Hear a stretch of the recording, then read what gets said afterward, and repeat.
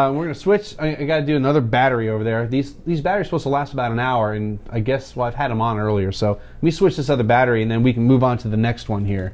Yeah, So yeah, you can yeah. kind of start start introducing Columbia Crest to us, okay? Yeah. Columbia Crest Grand Estates, Washington State. Um, fascinated by Washington Washington wines just because of the fact um, they're such a it's a, such a cooler climate um, than what we used to hit, say here in Australia. So. Um, I'm going to get a little bit of a different style. Um, I've had this once or twice before. Haven't had the 2008 vintage, so I'm really, I'm really excited to see the difference between um, the Columbia Crest and the Penfolds. Right. The two wineries are basically they're, they're the same in size. They're they're a, they're a big operation. Um, they pump out huge amounts, huge volumes of wine. So, um, what did you pay over there, Mark, for this one? I paid the exact same price, eight eighty three. So it's about a yeah. I was like, okay, I know there's around a ten dollar bottle of wine. I've had Columbia Crest also in the past, so I know it's a, I know it's another, it's it's another one of those wines for me that um, this is owned by the Chateau Saint Michelle people, right? It's the same, Correct. same company, and you know they're they're known as I guess the higher end wine, and Columbia Crest to me is like that that I wouldn't say secret, but it's it's that wine you just kind of go, it's under ten bucks. How good can it be? And then you taste it and you go, wow, it's it's pretty damn decent, you know. And then you find out that you know there it's the sister wine, or you almost could call it, even though the the actual vineyards are pretty far apart, from what I understand. Um, it's you know you could almost call it the second wine of Chateau Saint Michelle, but not really because it's not like the same vineyards. But you know it's a sister company, you know. Absolutely. Now I paid over here. You're going to fall off your chair. Oh, no. I paid nineteen dollars Australian here. This this Yeah. bottle, Yep. and it's, this is the same thing. This is Grand Estates. I mean, yeah, yours is 2008, you know, but it's the exact same. These these are the exact, Exact. same bottles. Exact. Wow. It's got Ray Einberger on the back. It's um, the government warning. You name it. It's got. Yeah. um, but I'm guessing because of the export, having exported into the country, and then the I don't know how it's done. But yeah, I paid nearly twenty bucks. But hey, I'm, I'm happy to pay that because it's something that I wouldn't get every day. Right. Well, you know, and it's uh, because the Chateau Saint Michelle's are going to be running twenty bucks or more. Uh, well, well, maybe not always, but they're close to twenty. That's usually about what they sh- they run over here. Is around twenty something dollars. Yep. Um, so yeah, so I'm, I- I'm excited to do this one. Oh, I, I automatically love this nose. I'm, I, I get almost the, the the beginnings of of what how it's going to be in about five years. So there's almost that tobacco, like a tobacco um, woodiness about it. Um, that's that's just straight off. But then there's beautiful sweet fruit. Um, it's sweet without being sugary. Okay. It's light. It's got a hint of what's like chocolate going on as well, but it doesn't have. The Penfolds had a savouriness about it, but this has Right. just got a sweetness about it. And I agree. There's there's that sweetness, and and I'm really just swirling this a lot because this is a wine that um, the first three or four sniffs here, I was getting that smoke bomb, kind of that little bit of sulfur. So the sulfur needs to blow off, I guess, Yep. on this. But you get that smoke bomb thing, and it's kind of like, okay, and you know, back to the stinky. childhood and having the stink bombs. during well, during our Independence Day thing, that's usually when we did them. Yep. But now I'm getting it's like now now I'm in a movie theater and I get the buttered popcorn. You get a bit of butter, buttery, do you? That's yeah, funny. That's I'm getting that kind of buttered popcorn thing. Now, granted, I've got the younger, I've got I've got the year younger, yep. but yeah, I get that I get that melted butter, and That's I get really some of the fruit. character because I I, I I would agree with you if I'd agree with you on that. It, it's to me, I get more of um, almost a for you. The butter popcorn is to me is what I'm getting like a, a tobacco thing going on. I reckon. Okay, like a sweet tobacco. But it, it smells really, really nice. Yeah. Yes. What'd you say? Eight eighty eight. God, that's cheap. you know, and, and now it's developing a little bit more. Maybe not, maybe the buttered popcorn isn't as prominent anymore.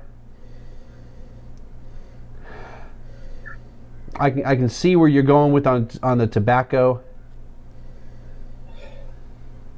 And then, and then there's also also a cured meat thing going on, like a salami, um, uh, prosciutto type thing that I get. Uh, yeah, I was thinking the same thing with with with with the cured meats. Not not the not necessarily a savoriness. Not like you know the other one where you felt like there was like this dry rub on there with those spices. Yeah. But more of that fatty type of, you know, like like salami is is a great really the salami and just kind of that that the fat kind of part of the salami. Yep, that's exactly right. That's exactly what. So a get. little bit of that sweetness, the little bit of sweetness of the from the fat. Yes. And the now, beauty yeah, of now, now I want now I want some salami and cheese with this thing. Hold there one second. All right, um, this is awesome. See- This is awesome. Let me tweet again here real quick while you're while you're what are you, what are you getting over there? Being Oh, Italian, we make our own homemade salami. now, And this baby is the 2012 harvest of our salami, and I had some friends over the other night, and we just polished off half a stick. It's- you can't eat too much of it because it's just it's too fatty, but God, it tastes good. Nice. Ah, Twitter said I tweeted that. Yeah, I did. There we go. You got to got to make the tweet just a little bit different, or else it won't let me tweet.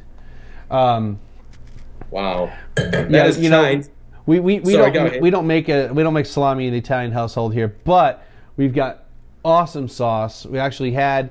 Um, Dad and I had had some pasta with some meat sauce, and well, we had this uh, uh, the leftovers. Uh, it was all leftovers, which means the sauce Yeah. tastes even better. Um, Yes. But the leftovers from this, uh, we had basically a chicken parm, and uh, we got some pasta, and, and just basically the red sauce is always homemade. I mean, we don't normally just get the the can of whatever store brand and just and just uh, doctor it up. We, sometimes we do, but you know, it's usually you're getting you're getting the cans of tomatoes and you're making the sauce and simmer it, and then you Yeah. freeze it. You freeze it and you reheat it and freeze reheat, and then after the third or fourth time, it's it's you know really concentrated and yeah, I mean, mom makes mom makes some good sauce, and she's not the Italian. She's had, she's had to learn. She's she's been married into the, the Italian Oh, family, yeah. so she's had to learn. Now, that has changed again in the last three or four minutes. It has. Now I I feel like I'm getting kind of more like milk chocolate out of this. Almost like and again, I guess because I'm, I'm I'm back on the movie theater thing, milk dud type Yep. of thing. That's my favorite uh, my favorite candy at, at the movie theater. But I'm getting that, that kind of a chocolatey milk chocolate type of stuff. See, I'll, I'll go in the opposite direction, and it's probably because it's a year older. This one, I, I get more.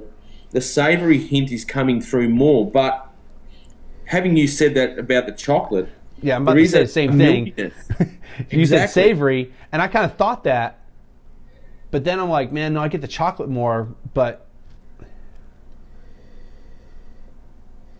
And now for me, like the milk chocolate's starting to fade away, and I'm getting still kind of that, that cured meat type of thing, but maybe not as much savory as you're getting. Yeah, absolutely.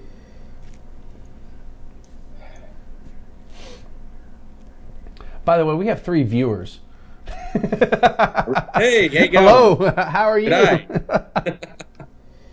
Well, it's a big difference for me doing this now and not doing it at two in the afternoon when most people are at work in the states. So, Of course. Of course, I don't know if it's counting me as a viewer. So maybe we only have two. Hey, it's. I'm happy. It means that someone out there's watching. to me, if I get one viewer live, it's amazing. I mean, this this this video will probably get um, within a week. The first two weeks of it being up will probably be around 300 views, and out Yeah. of those 300 views, probably 200 will be on TiVo. So Oh, really? Oh, because I do see you. You put that out. You're the only one on TiVo, aren't you? Um, actually, I'm, yeah, I'm the only current one on TiVo, and because if you go to web shows and food and beverage, and because it's labeled 1337, I'm the top hit, and that other guy He's on the bottom. Matter of fact, I'm interviewing him in two weeks. I'm interviewing Gary in. Oh. Oh, yeah, there, there it is. I'm interviewing Gary Vaynerchuk in two weeks. I, I haven't announced it yet, but I just, I just blurted it out. So, uh, Gary's gonna be on the show. So uh, uh, that's gonna be, that's gonna be a lot of fun. How the heck did you score that? I emailed him. I, I well, I emailed him and his PR guy. Um, Yep. and I contacted Wine Library, and they're like, you know, here's Gary's other email, which he, he has like he has an autoresponder basically saying, hey, dude, I get so many emails now, I can't really respond. But I, I interviewed his PR. I mean, I sent his PR guy, and I said basically, you know what, I'm about the only person left that's doing anything close to what he did, um, and uh, I would like to interview him. So, and and I've I've chatted with him a few times, and he came down to San Marcos for a a book signing, and I went up there, and he was like, "Dude, come on back to Austin. We're gonna go party." I'm like, "I can't. I gotta be at work at six in the morning tomorrow." I'd love to go up there, but I, I, I just I had just started the job I was at at the time, and I was like, I can't, man. You can't exactly. I spoke to him once, believe it or not. He was on a UStream. He was he just gone into Vayner Media and he was doing doing a, a UStream thing, and um, you know how everyone does their put, put, puts their comment puts Right. their comments in the box, and I've put my phone number with um, my my cell phone with the extension here in Australia, and he's there, doot, doot, doot, doot, doot, and he rang me. He literally rang me live on UStream, Yeah. and I didn't know what to do. I just said, man, Yeah, he And, um, he has been known. Yeah, I mean, obviously he's done it, but I've heard of him doing that type of stuff. Uh, especially, I don't know if he does it as much now, but yeah, when he was starting the wine library thing, I used to watch WLO TV all the time. I mean, you know So that that's come on, th- come on. Let, us put it. This, that's why do you think I kind of do this? It's it's that was part of the inspiration. Um, the other inspiration is Leo Laporte with Twit. You know, this week in tech. Um, that that's why I go for all this. Um, you can't really see it, but go through all this stuff with the green screen and the lights and the, you know, just uh, and, and having Cam Twist as my studio. That's for, Yeah. for those watching on Justin TV. That's how you can watch this. I Yep. got this little, you know, little program here, which uh, you know, we'll we'll switch real quick over to Cam Twist. So now on the feed in Justin TV, this this little thing right here, this is a free program that um, enables me to pick whatever screen I want to do. I can do the entire. Let's see. I should be able to do. Oh, let's do full screen, and now you can see everything that's going on here. You've got. I've got the cam twist. I've got the little timer over here. I've got me and Sam over here. Um, I've got all this stuff going on the desktop. So uh, you know, I can I can totally do a bunch of stuff, and I, I don't even do like I don't even do uh, all the complicated stuff. You can put lower thirds and do all this. I, I don't mess with. it. I tried to tried to mess it with, the green screen stuff, but it doesn't do a good job. So I decided I'll just post production that stuff later. But yeah, yeah. it's uh, wine's still the wine's still Yeah, good. Look, you know, and I admire you, Mark, because you've you've stuck at it since for years now, and you're still going, and you're going strong, and um, you know, you're up to how many episodes now? Two hundred and fifty. This is 256. This will be two. num- This will be number 256, which that's a totally geeky number because it's two to the don't know, fourth, fifth, eighth power, whatever. So um, for all those computer nerds out there, um, so yeah, I mean it's. Uh, and honestly, Sam, I had to take a year off, and which which I don't really go through too much. But when the first episode I did when I came back from my year hiatus, I had to Yep. explain that I had gotten into a little bit of trouble, and I was not allowed to have any alcohol for a year. I, mean, do I- remember re- uh, watching that. Yeah. you know, and that and and I had to, and I was it was embarrassing, and I, I didn't say anything to anybody. My family, my parents are the only people that knew for almost the entire year.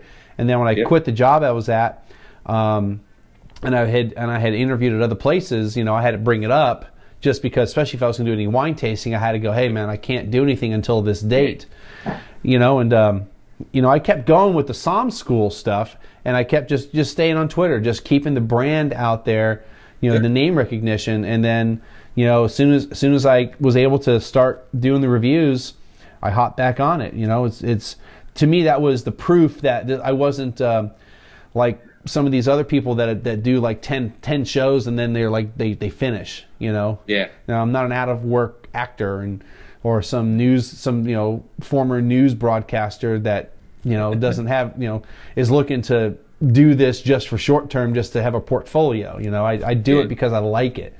And if it Yeah. if it brings better, if it goes into bigger and better things, that's cool. But that's not my goal. My goal is just to kind of just taste wine, and, and it helps me stay focused with tasting different wines yeah, um, and doing that. So, and meeting people like you, uh, and and conversing with with people all over the world. I mean, I, I tell people it's like I'm international. Yeah, I've had people go, oh, do advertising, get an adverti- an ad for you know uh, the local whatever in San Antonio, and I was like, well, you don't understand that.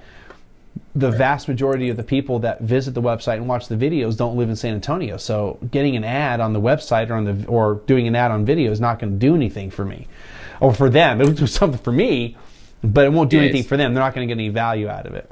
No, exactly right. No, it's good, and I'm, I'm, I'm, yeah, I'm, I'm, I'm happy for you because it's, it's, it's, it's awesome to see. I mean, I'm, at, I'm stuck at 149 episodes of Wine Passion TV, and because of my, because of my winemaking, it's, it's getting and my full time job, I'm finding it really hard to, to do episodes. So I'll still just chug along. Might do one every two weeks, but um, it's kind of not my focus as much as what it used to be. Well, and, and, and for you, I mean, you're 149.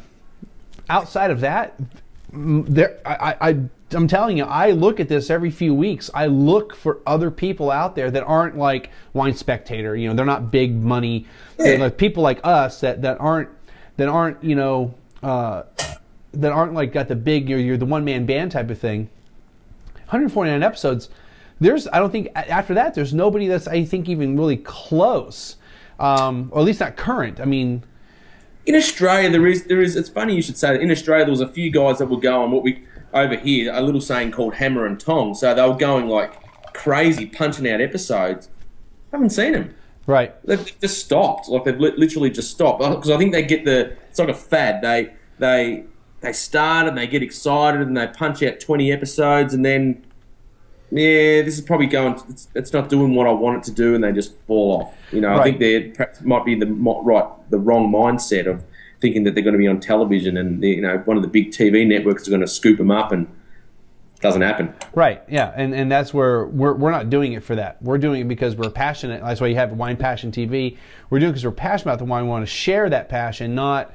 I'm not looking to. I'm not look. I'm not out there knocking on doors and sending out emails to be like, "Hey, you need to put me on your. You need to put me on your your network." Granted, I have had talks with people about like being on like a morning show or whatever, Yep. but it's not. But but they're looking at what are you selling exactly right. me i don't have a consulting business i don't go out and do parties you know i, I, I just want to sell the knowledge not sell i just want to do the knowledge so so even even those little morning shows they, they want when you're on there it's really it's really just a you're, you're putting out a five to ten minute ad is what you're really doing it's not much. just uh, hey i'm just out of the kindness of my own heart i'm going to talk about this product no i probably sell the product Absolutely, yeah. you know. All right, so back to the wine.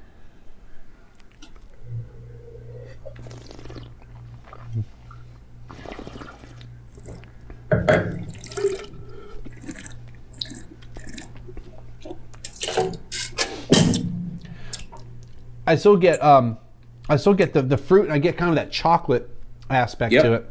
Um, it's still the to me the brighter, not necessarily darker red fruits. Um, maybe even maybe even like a blueberry thing. Maybe even like a blue fruit thing for me, um, which I don't key into very often. It's one of those rare one of those rare things for me to actually pick up on a wine. Um, it's kind of like one of those things where I can't decide whether it's red or dark. Then I kind of go, well, maybe Take it's, up blue. maybe it's blue, you know. Maybe it's blue, or maybe I'm just pulling it out of my ass just to say something. But you know, I, Yeah, I it's get blue. kind of that maybe more of a blueberry thing. And I mean, one of the things I do on on on on the way into work sometimes is pick up the blueberry uh, pop tart. So I'm familiar with the processed flavor of blueberry. It's funny. My my profile is exactly like yours. I get the red fruits, but I get more of a milk chocolate on Mm-hmm. the palate than what I do get on the nose. Um, on the nose, I get very savoury salami thing going on, but it's very milky, chocolatey, and it's it doesn't have that minty, herbaceous uh, like bell pepper thing we'll talk No. about with the Australian one. It's completely different. Um, Oh, yeah. And that's probably, and it's odd because usually cool climate Cabernet will always exhibit a minty character, whereas it's the opposite. The warm climate is showing the mint, and the cool climate is more showing more fruit for a Cabernet. And I don't think you would ever confuse this with California Cabernet.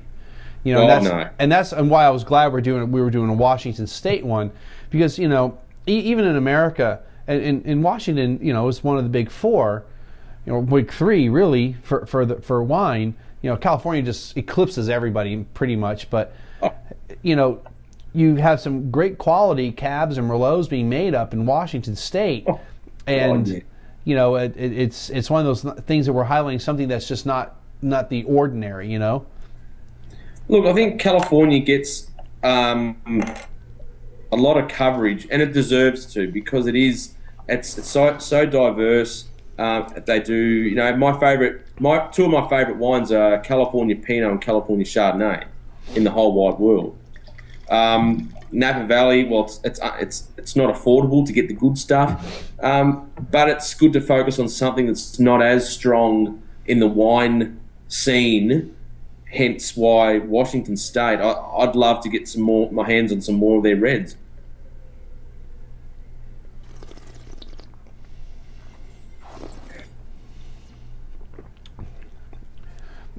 I do have to say I like the uh, Koonunga Hill better than the Columbia Crest. I just think it's, um, and maybe because I, I've got, even though um, these are both 2009s, this is still a, a- an older wine. Um, Yeah. Maybe it's just because it's more developed. But I also know that I, I like, I tend to like Australian style. Um, I tend to like, not that I like it more than anything, I just tend to like the style.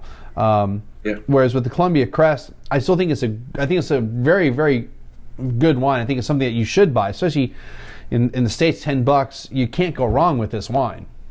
But there, I do get a little bit of thinness out of it, um, Yeah. a little bit of wateriness. So the finish doesn't it is a, it's a shorter finish. Um, course. up front, it's really nice. It really has all those flavors. Like I say, you get the blueberry and the milk chocolate, um, and I do get a bit of maybe it is savory, but it more like a spicy character to it. But then it, it kind of hits you in the front, and then Yep. it just kind of disappears a little bit. You know. Oh, and look, I'll say this, and I've got no connections with Columbia Crest. I don't work for them. They haven't paid me to do this. But I actually, I actually do like the Columbia Crest um, over the Koonunga Hill, just for the fact that I'm so used to the Australian style, and I yearn for something a little bit different. Yes. So, and that suits me down to the ground. That that style. Um, I do need food with it though. I couldn't just drink it on its own. I probably do need some like a nice piece of steak or Right. something that's hearty to go with it. But I do enjoy that. No, I so think there you go, Columbia Crest. I've just plugged your wine. and, and, and you know, and, and I'm not I'm not knocking it at all. I think I think Oh, it's a great yeah. value. I think it's a good wine. I think you should buy it if you're out there, um, especially if you're looking for something. If you don't if you don't like the, this, this style, get this. It's going to give you just everything. It's going to give you everything you want out of a cab to me, and that it's and, and it's Yep. different than California, which you know to me different is good. I like different. It, it's it's nice to it's nice to get uh, the unusual. Like when I was down in Rockport, Texas, a couple Yep. weeks ago, and I did that little episode with the wasps um, outside. Uh, I went to the wine shop. The lady's like, "We- "We don't like getting big box wines. You know, the big box store wines. They if I can buy if they can buy it at the HEB or the Walmart up the road, then they won't carry it in their wine shop."